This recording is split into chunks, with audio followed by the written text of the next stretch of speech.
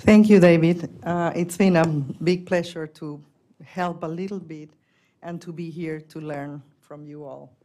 So this is the session one, which is mostly on the drivers uh, of disease transmission and urbanization. And so we want to discuss what, what in the built environment, what factors uh, in urban settings drive transmission of diseases, and understanding barriers also to microbial communities.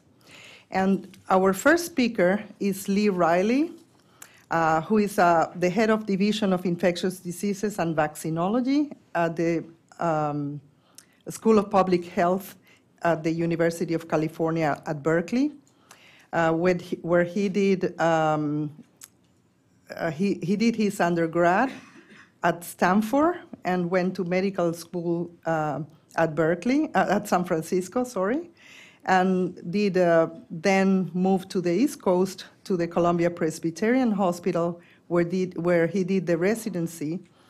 Then later became a CDC Intelligence Service um, um, serviceman, uh, and went back to Stanford University, back to the West Coast, joined the WHO um, and lived in India two years, then came back, uh, started as an assistant professor at, the, at Cornell University, and went back to California. Uh, he's currently at University of California at Berkeley since 1996, and is a professor of infectious diseases very uh, dynamic life.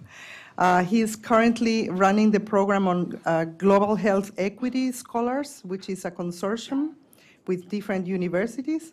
He's a fellow of the American Academy of uh, Microbiology, member of the board of scientific counselors um, to advise the Office of Infectious Diseases at the CDC. And without any more delay, welcome. Thank you. Thank you.